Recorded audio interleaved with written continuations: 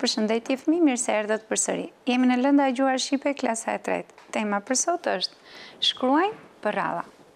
Po ta shohim me vëmendje, kemi dy figura në tabelë, Ju e njihni patjetër personazhet e secilës prej përrallave. Po të shohim këtu kemi Hirushën dhe Borëbardha me shtatë xhuxhat. Në anën tjetër kemi disa personazhe, personazhet pozitivë dhe personazhet negativë. Po t'i marrim t'i shoqërojmë me njëri-tjetrin, mbani mend përrallat, si do t'i lidhim bashkë.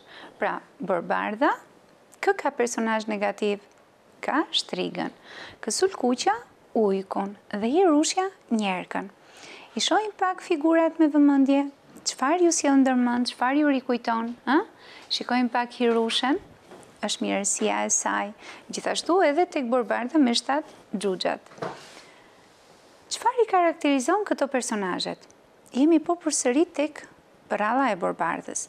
Shohim në foto borëbardhën bashkë me princin dhe me Shtatë xhuxhat. Çfarë i karakterizon bashkë me Zanën dhe Hirushën? Hm?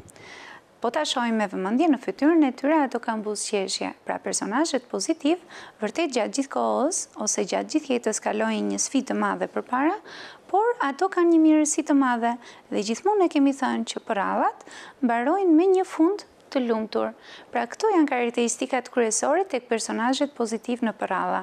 Edhe pse ato kalojnë vështirësi gjatë jetës, ata dalin gjithmonë fitimtarë.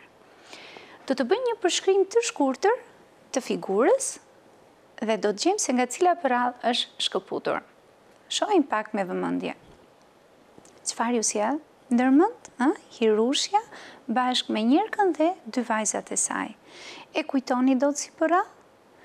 Sillni ndër mend historinë e saj, pra Hirushja ishte një vajzë e vogël, e bukur, e cila punonte jashtë mase në shtëpinë e saj për të kënaqur Njerkën dhe dy vajzat e saj, por ato asnjëherë nuk e trajtonin atë mirë.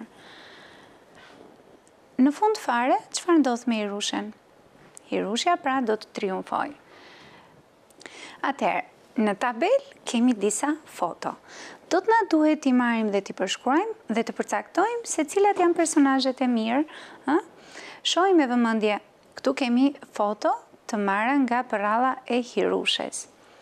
Si mendoni ju, Po të krahasojmë Hirushen bashkë me dy vajzat e Njerkës, cilat ishin karakteristikat e secilës? Pra Hirushja ishte një vajzë e vuajtur, një vajzë jetime dhe gjatë gjithë kohës ajo ishte në shërbim të kujt? Hum, në shërbim të Njerkës dhe dy vajzave të saj. Po dy vajzat e Njerkës, si silleshin me të? A silleshin mirë? Jo. Fatkeqësisht jo. Gjithashtu edhe Njerka. Pas shumë peripecive që dhe vështirësive që Hirushja kaloi gjatë jetës së saj, ajo më në fund triumfoi, ë, me mirësinë e saj. Këtu shohim po përsëri Hirushen bashkë me Zanën. Zana ishte një personazh hyjnor në përrallën e Hirushes. Ajo ishte që e ndihmoi që princesha të kishte një fund Të lumtur. Ëh, këtu kemi edhe dy personazhe të tjerë dje, që janë duke luajtur po përsëri. Pra, personazhet e mirë zakonisht nëpër përralla kalojnë vështirësi, por e thamë edhe pak më sipër që kalojnë në një përfundim të lumtur. Unë do t'ju lë si detyrë që herën tjetër ju të shkruani fundin në një përralle të lumtur. Sigurisht mos harroni që mbarojnë me një fund të lumtur përrallat. Atëherë unë ju mirëpres përsëri në mësimin e ardhshëm.